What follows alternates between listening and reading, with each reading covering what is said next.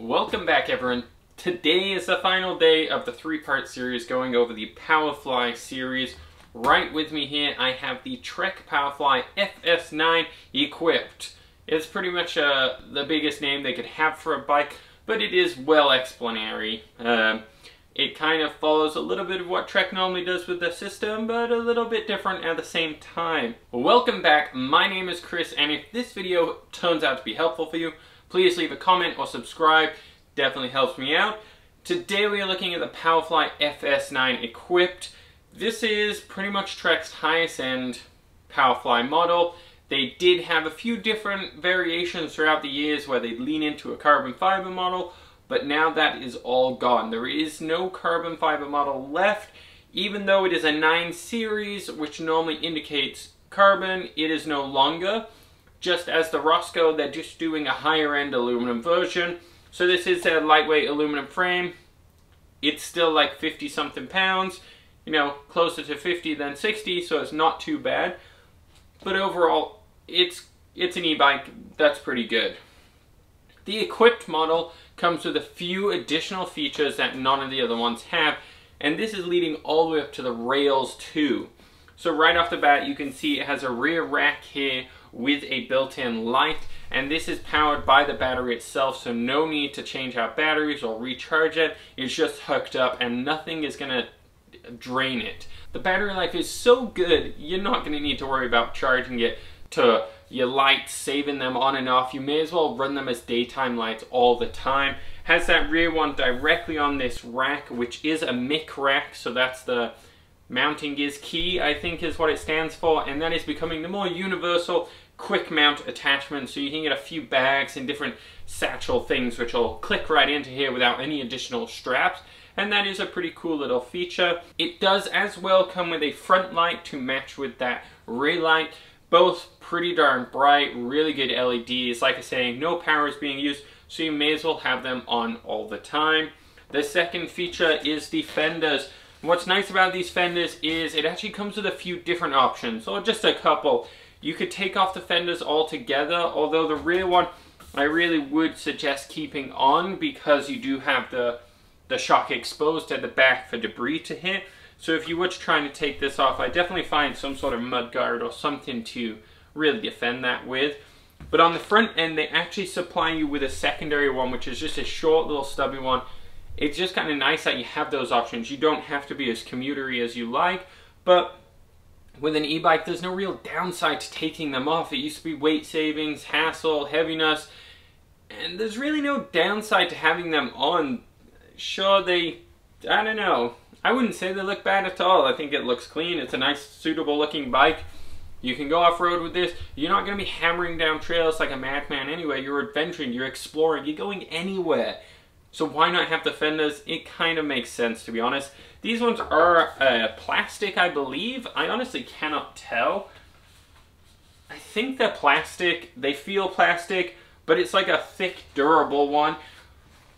One reason I think they may have gone with plastic is the rattling noise. So plastic is going to hold into place a lot better, has a lot less weight to it, so it's not going to shake around. If you look up the Townie models, they all come with aluminum um, fenders, and these will rattle around. They'll make a lot of noise, especially off-road. Something like this, no matter what trail you go on, no matter how rough it gets, it should be all silent. It should be very, very quiet. And that's a nice little thing to think of ahead of time as opposed to getting an aluminum one out there, getting all dented, destroyed, and having just a noisy unbearably noisy ride essentially. This one shares a few of the same features that the FS4 does. You have that dropper post, so again this is a little seat post which is adjustable, really easy to get on and off the bike as well as making riding that much easier, just getting it out of the way. As well, you do jump up to the 12 speed here. So on the previous two models, it's just been the 10 speed Deore. This one actually goes up to a 12 speed Deore and it's actually the Deore XT stuff. So this is faster, lighter weight and more reliable shifting. This means under pressure, when you're really pedaling hard, when you're really making a quick shift and you don't know what you're doing in a way and you're shifting all over the place, it's going to be more reliable to just hit that shift perfectly dead on it's a really nice shifting set, as well has a bit more texture to the grip, so you can actually really feel where it is. So when you're riding, you don't need to focus on where you are. It can just sit there and it's going to have a lot more grip and texture to it, which is really, really nice. The 12 speed as well will allow you to put more of your own power into it as opposed to just having the e-bike do everything for you. It is the same motor and battery system, which is nice. Works really well. The Bosch stuff works fantastically. But as you go up top, it changes from that more basic display to a little bit more fancy. This is the COBI stuff, and this comes with remote controls on the left-hand side here, which you control your speed and assist with. But then you also get some arrows to swipe through menus, which are integrated with a smartphone app, and that just goes into this little tray here. So there's a lot to take in there. You do get a very basic display which you can see information on, but the main idea is you plug in your cell phone, you connect to it, and then boom, you have this really cool system. Everything's going to be shown. I wouldn't worry about waterproofing. The majority of cell phones now are waterproofed. So I don't think that's going to be too big of an issue. It does have quite the range. I don't think you'd fit the new iPad mini in there, but you're going to fit a fair size phone. I wouldn't worry about that. Interestingly enough, they have actually switched back to the comfort grips for this one. So you're to have a bit more comfortable handlebar instead of the FS4, which had just more of a standard round grip, and the Powerfly 4, which had the FS9 style grip, where it's a bit more ergonomic it's just going to be a comfier ride. It's going to give you a bit more palm kind of rest. It's, it's going to be nice. XT brakes, so these are an upgrade again, a lot of braking power, really nice touch sensitivity to it. So it's like really nice to use, honestly, and a bit more user adjustment to it. So you're gonna be able to adjust and fit these exactly for the reach and feel you want out of it. Interestingly enough, they actually changed the tires on this. They actually went to something a little less aggressive, but something a lot more durable. So this is a tire which is going to survive everywhere you go. It's really going to excel on the hard pack, gravel, and more rough terrain. On the muddy, wet, kind of worse for wear pedaling, this is maybe not the most tractionable tire, but neither was the other one. This one is just going to have a lot more durability to it. It's designed for e-bikes. It's going to hold up a lot better. It's got reflective strips on it. So everything about this tire is designed for all-purpose use. Anyone who's buying this bike is biking a lot and they know it. So it's nice that they think of these features. You're going to put that reflective strip, more people will see you in the darkness longer lasting tread, you're gonna go further than you ever have before. This might not be your first uh, e-bike, it's actually probably gonna be your second. And even if it is your first, you know you're gonna use it a lot. You come from a biking background, and that is something you know you're gonna do. The front fork is pretty much the same setup. It is the Air one, just like the FS4, but it's jumping up to the Zeron, so it's gonna be a little bit more performance out of it. You get the more infinite kind of clicks to it so you can feel where a click is and really kind of choose a more specific compression rate. It's just nice to be able to customize and dial it up a little bit easier. As well, you will just get better performance out of this fork. It will be slightly lighter, couple grams, like on this weight of a bike, mm, it's not really worth mentioning, but I'll mention it anyway. Overall, these bikes look fantastic. Throwing the rear shock in the back is adding a lot of standover room. It's allowing a more upright seated position. So you're not going to have that sore back and shoulders. This is more of a comfort style mountain bike as opposed to the Trek Rail, which is more of a downhill style mountain bike. I want to be the fastest on the trail. I want to beat everyone. That's the Trek Rail's position. If I'm just looking to get out there and adventure and go everywhere and hit all those same trails, but maybe I don't care if I'm the fastest, I don't even care if I get overtaken by a regular mountain biker, but I'm doing all that stuff, this is the setup you want here. Huge chainring on the front. It's going to really allow you to get those higher speeds really easy, and it's going to take away a little bit of the wear and tear in the rear end. With a smaller chainring, you end up focusing a lot on the high gears on the rear end. You burn through them pretty fast on e-bikes. Putting a big chainring on the front means when you're putting in these higher kilometers, you're gonna get more life out of the whole cassette. You might be more mid-range.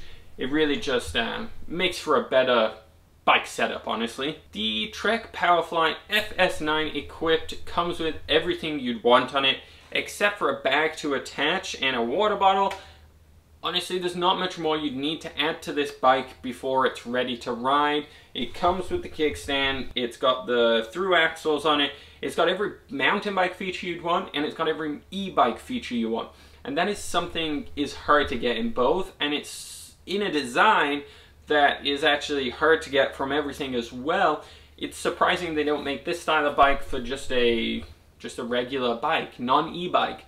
Every feature it has is really something a lot of people are looking for. That being said, many of those people now are more interested in e-bikes. So this bike is really designed for anyone who is ready for an adventure, ready to go anywhere with it. You're gonna load it up. You already know you're gonna push the daytime light, so you're gonna want those lights, or you're gonna be crossing a lot of roads, doing a lot of gravel, and the daytime running features of them is gonna be really nice. So you turn on these lights and they're super bright. They're really well. You've got three LEDs on the front, on the bit back.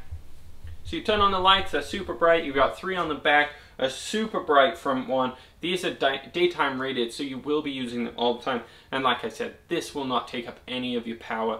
You're not going to lose an extra kilometer even by having this running the entire time. It just, look at the size of this battery. Four little LEDs is going to do nothing towards that, so don't even worry about it. Huge range of this one.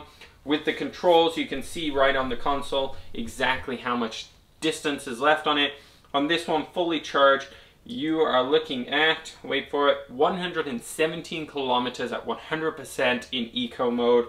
And then if you go all the way up to turbo mode, you're gaining 50 kilometers in straight turbo. And this will dynamically update as depending on what conditions you're in, and if you're climbing a hill, wind, you know, all that stuff. But it's really nice to see that you're getting up to 120 kilometers out of a charge now. It's, it's really fantastic. And I think a lot of people are going to appreciate that. You're to be able to do camping trips, overnight trips where you're not going to necessarily have access to power. So it's nice you could do a, a 25, 30k bike ride one direction, if not further, on eco mode, sleep the night, and then bike out, and you're to have all the energy in the world. Or you're to be able to do it, which previously before maybe you couldn't because of ailments or fitness. E-bikes definitely help you get ahead in life and get you where you want to be and be out there no matter what. And if you haven't tried one, you'll probably like it. It's hard not to like. If you're wanting to get out there more, this is a bike which will get you there and you won't need to spend any extra money. Not the cheapest one around to begin with, but it works really well and it's ready to go and it's coming with quality parts in mountain bike sense and electric sense. It ticks all the boxes you could ever want in comfort, in style. This is the Powerfly FS9. If you don't already have one, I don't know why. Alright guys, thank you for watching.